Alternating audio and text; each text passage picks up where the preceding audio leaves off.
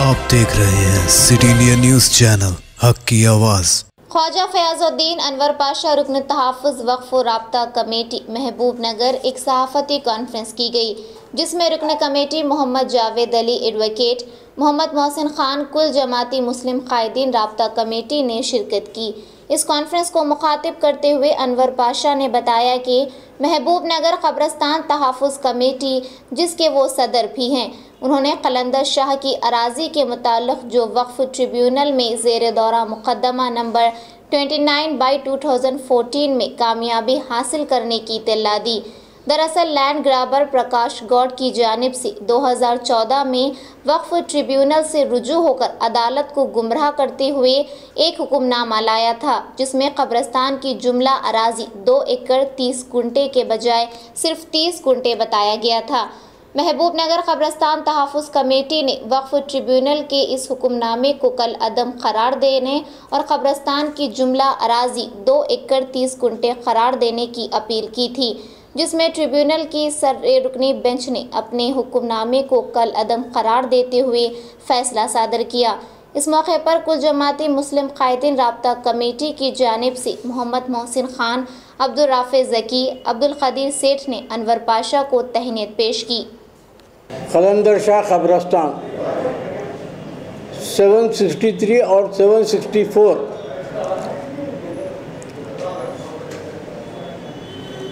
मगर 763 में जो 2006 से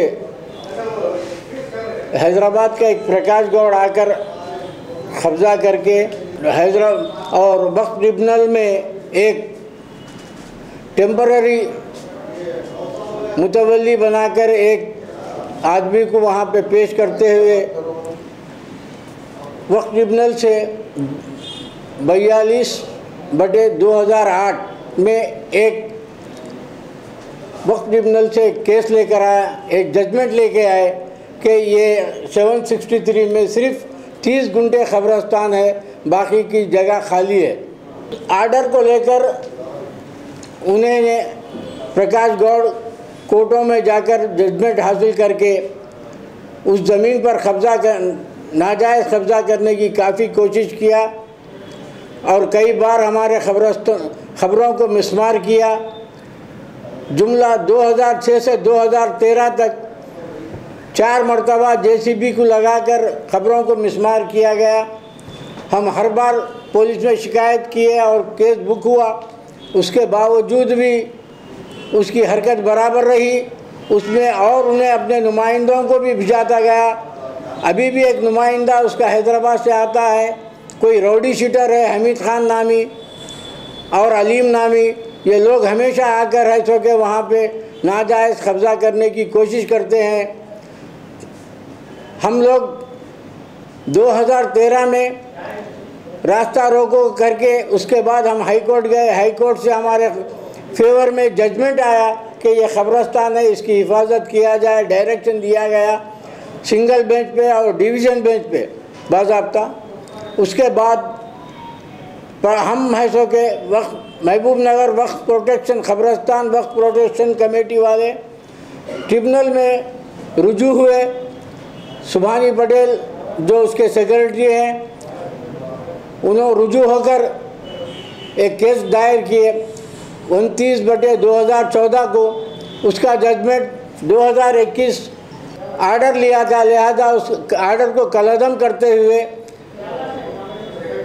ट्रिब्यूनल वक्त ट्रिब्यूनल ने हमको एक जजमेंट सादर किया कि पूरा कब्रस्तान का एरिया दो एकड़ तीस गुंडे है।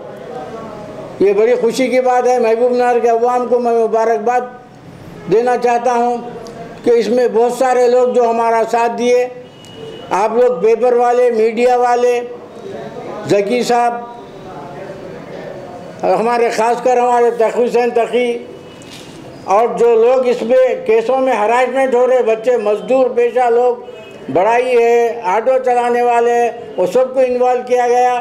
और हमारे मोहसिन खान साहब को भी उसमें इन्वॉल्व किया गया।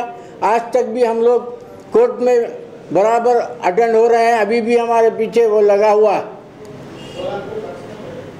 फिर भी हम ऐसो के अपनी हिम्मत हारे बगैर, क्योंकि ये हमारे अकीदे की जगह है, इसको बचाना हमारा काम है। लिहाजा हम लोग कोशिश किए।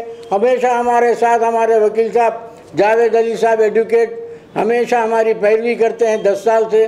कंटिन्यू वो हमेशा हमारी केसों की पैरवी करते हैं। मैं उनका भी शुक्रिया अदा करता हूँ और ख़ासकर महबूब नगर में मीडिया का और जो जो लोग भी हमारे साथ ताउन करें मदद करें प्रेस वाले वगैरह सभी को मैं शुक्रिया अदा करता हूँ। शुक्रिया खुदा हाफिज़। माशाल्लाह माशाल्लाह। उमर दे। हमारे सेवेंटी नहीं नहीं। बड़ा